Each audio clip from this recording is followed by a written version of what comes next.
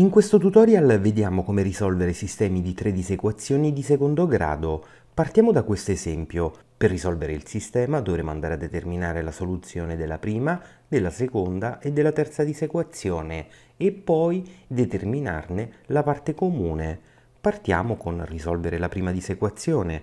È una disequazione di primo grado, quindi è sufficiente portare il 7 a destra e dividere poi tutti e due membri per 4 ottenendo x minore di 7 quarti. Vado ora a risolvere la seconda disequazione. Porto l'1 a secondo membro ottenendo meno x minore di meno 1 e poi moltiplico tutti e due membri per meno 1 cambiando verso, ottenendo così x maggiore di 1. Vado ora a risolvere la terza disequazione. Osservo che il coefficiente di x quadro è negativo e allora moltiplico tutto quanto per meno 1, scrivendo meno 9 più 16x quadro e da minore passo a maggiore di 0.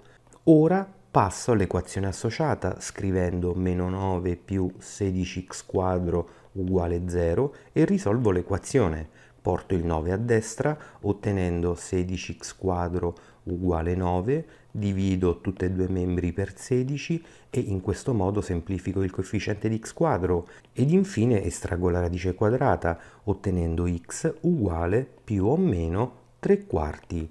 Questo vuol dire che la parabola interseca l'asse delle x in due punti, in meno 3 quarti e in 3 quarti. Prima di meno 3 quarti la parabola è positiva, tra meno 3 quarti e 3 quarti la parabola è negativa e dopo è di nuovo positiva.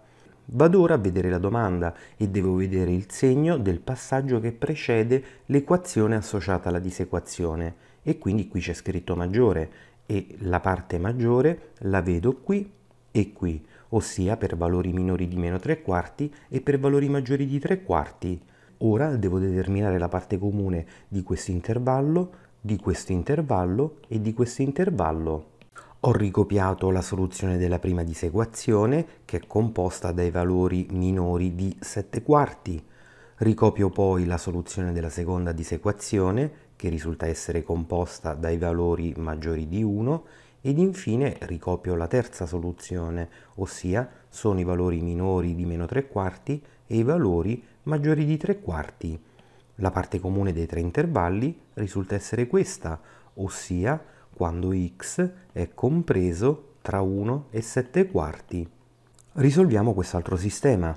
Partiamo dalla prima disequazione. È una disequazione di primo grado e allora sarà sufficiente portare il 3 a secondo membro e dividere per 2, ottenendo x maggiore di 3 mezzi. Risolvo ora la seconda disequazione. È di primo grado, porto l'1 a destra e divido per 3, ottenendo x maggiore di meno un terzo. Per quanto riguarda la terza disequazione, è una disequazione di secondo grado e allora dovrò passare all'equazione associata e determinarne le soluzioni. A conti fatti otteniamo un mezzo e meno un terzo e allora vuol dire che la parabola interseca l'asse delle x in due punti, esattamente in meno un terzo e in un mezzo. Prima di meno un terzo la parabola è positiva, tra meno un terzo e un mezzo la parabola è negativa e dopo è positiva. Vedo ora la domanda, mi viene chiesto quando questa quantità è minore di 0 e il minore di 0 lo vedo qui, tra meno un terzo e un mezzo. Ora, per determinare la soluzione del sistema, devo intersecare questo intervallo, questo intervallo e questo intervallo. Ho rappresentato la prima soluzione, che è composta dai valori maggiori di 3 mezzi, ho poi rappresentato la seconda soluzione che è composta dai valori maggiori di un terzo ed infine ho rappresentato la terza soluzione che è composta dai valori compresi tra meno un terzo e un mezzo. Vado ora a vedere la parte comune dei tre intervalli. Mi rendo conto che non esiste una parte contemporaneamente verificata dalla prima, dalla seconda e dalla terza disequazione e allora concludo che il sistema è impossibile. Vediamo quest'altro esempio e partiamo dalla prima disequazione. osservo che il coefficiente di x quadro è negativo e allora la prima cosa che faccio è moltiplicare tutti e due membri per meno 1, ottenendo x alla seconda meno x meno 2 maggiore di 0. Visto che la disequazione è una disequazione di secondo grado, passa all'equazione associata e ne vado a determinare le soluzioni. A conti fatti si ottiene 2 e meno 1 e allora vuol dire che la parabola interseca l'asse delle x in due valori, esattamente in meno 1 e in 2. Prima di meno 1 la parabola è positiva, tra meno 1 e 2 la parabola è negativa e dopo è positiva. Vedo ora la domanda e devo vedere il segno della disequazione che precede l'equazione associata. Qui c'è scritto maggiore di 0 e il maggiore di 0 lo vedo qui e lo vedo qui ossia per valori minori di meno 1 e per valori maggiori di 2. Vado ora a risolvere la seconda disequazione. Come prima cosa moltiplico tutti e due membri per 2 e semplifico il denominatore a primo membro. Ottengo così x più 2 maggiore o uguale a 2. Semplifico 2 e 2 ottenendo x maggiore o uguale a 0. Vado ora a risolvere la terza disequazione, è una disequazione di secondo grado e allora devo passare all'equazione associata e determinarne le soluzioni. A conti fatti si ottiene 7 e meno 2 e allora vuol dire che la parabola interseca l'asse delle x in due valori, in meno 2 e in 7. Prima di meno 2 ho positività, tra meno 2 e 7 la parabola risulta essere negativa e dopo la parabola è di nuovo positiva. Vedo ora la domanda, mi viene chiesto quando questa quantità è maggiore di 0 e il maggiore di 0 lo vedo qui e lo vedo qui.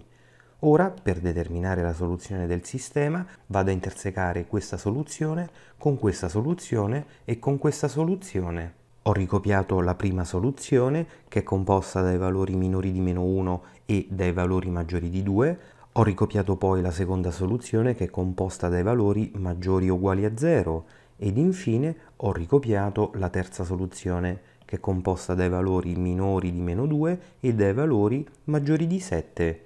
La parte comune di questi tre intervalli è questa qui, ossia quando x è maggiore di 7. Risolviamo questo sistema, partiamo dalla prima disequazione, è una disequazione di secondo grado e allora devo passare all'equazione associata e ne vado a determinare le soluzioni. A conti fatti otteniamo meno 3 e un mezzo e allora vuol dire che la parabola interseca l'asse delle x in due valori, in meno 3 e un mezzo. Prima di meno 3 la parabola è positiva, tra meno 3 e un mezzo la parabola è negativa e dopo è positiva. Vediamo ora la domanda. Mi viene chiesto quando questa quantità è maggiore di 0 e il maggiore di 0 lo vedo qui e lo vedo qui, ossia per valori minori di meno 3 e per valori maggiori di un mezzo. Vado ora a risolvere la seconda disequazione. Eseguo questa moltiplicazione e porto l'8 a primo membro, ottenendo x alla seconda più 2x meno 8 minore di 0. È una disequazione di secondo grado, passa all'equazione associata e ne determino le soluzioni. Applicando la formula risolutiva otteniamo 2 e meno 4 e allora la parabola taglierà l'asse delle x in due valori, esattamente in meno 4 e in 2. Prima di meno 4 la parabola è positiva, tra meno 4 e meno 2 la parabola è negativa e dopo di 2 la parabola è di nuovo positiva. Vedo ora la domanda, mi viene chiesto quando questa quantità è minore di 0 e il minore di 0 lo vedo tra meno 4 e 2. Risolvo ora la terza disequazione, è una disequazione di secondo grado e allora passo all'equazione associata e ne determino le soluzioni. Metto in evidenza una x ottenendo 2x meno 7 uguale 0. Pongo uguale a 0 prima il primo fattore, ottenendo x uguale 0 e ponendo uguale a 0 il secondo fattore, a conti fatti si ottiene x uguale 7 mezzi e allora vuol dire che la parabola interseca l'asse delle x in due valori, in 0 e in 7 mezzi. Prima di 0 la parabola è positiva, tra 0 e 7 mezzi la parabola è negativa e dopo è di nuovo positiva. Vedo ora la domanda, mi viene chiesto quando questa quantità è maggiore di 0 e il maggiore di 0 lo vedo qui e lo vedo qui, ossia per valori minori di 8 e per valori maggiori di 7 mezzi. Ora, per determinare la soluzione del sistema, intersecherò questi tre intervalli. Ho rappresentato la soluzione della prima disequazione, che è composta dai valori minori di 3 e dai valori maggiori di un mezzo, ho poi rappresentato la seconda soluzione, che è composta dai valori compresi tra meno 4 e 2, ed infine ho rappresentato la terza soluzione, che è composta dai valori minori di 0 e dai valori maggiori di 7 mezzi. La parte comune dei tre intervalli è questa, ossia quando x è compreso tra meno 4 e meno 3. Vediamo quest'ultimo esempio e iniziamo a risolvere la prima disequazione è una disequazione di secondo grado e allora devo passare all'equazione associata e ne vado a determinare le soluzioni. Applicando la formula risolutiva otteniamo meno 5 terzi e un mezzo e allora la parabola interseca l'asse delle x in due valori, esattamente in meno 5 terzi e un mezzo. Prima di meno 5 terzi la parabola è positiva, tra meno 5 terzi e un mezzo la parabola è negativa e dopo è di nuovo positiva. Vedo ora la domanda. Mi viene chiesto quando questa quantità è maggiore di 0 e il maggiore di 0 lo vedo qui e lo vedo qui. Vado ora a risolvere la seconda disequazione. Osservo che il coefficiente di x quadro è negativo e allora prima di tutto moltiplico per meno 1 e riscrivo in forma ordinata la disequazione, ottenendo 4x quadro meno 7x meno 2 minore di 0. Essendo una disequazione di secondo grado, passo all'equazione associata e ne vado a determinare le soluzioni. Applicando la formula risolutiva otteniamo come soluzioni 2 e meno un quarto e allora la parabola interseca l'asse delle x in due valori in meno un quarto e in 2. Prima di meno un quarto la parabola è positiva, dopo è negativa e dopo è di nuovo positiva. Vado ora a vedere la domanda e devo vedere il segno della disequazione precedente all'equazione associata e allora devo vedere questo dove c'è scritto minore di 0 e il minore di 0 lo vedo qui tra meno un quarto e 2. Risolvo infine la terza disequazione. Porto 2x a sinistra ottenendo x alla seconda meno 2x maggiore di 0. Passa all'equazione associata e, visto che è un'equazione spuria, metto in evidenza una x, scrivendo x che moltiplica x meno 2 uguale 0. Pongo ora uguale a 0 il primo fattore, ottenendo x uguale 0, e poi pongo uguale a 0 il secondo fattore, ossia x meno 2 uguale a 0, da cui si ottiene x uguale 2. E allora la parabola interseca l'asse delle x in due punti, in 0 e in 2. Prima di 0 la parabola è positiva, tra 0 e 2 la parabola è negativa e dopo di 2 è positiva. Vedo ora la domanda, mi viene chiesto quando questa quantità è maggiore di 0 e il maggiore di 0 lo vedo qui e lo vedo qui. Ora, per determinare la soluzione del sistema, interseco le tre soluzioni.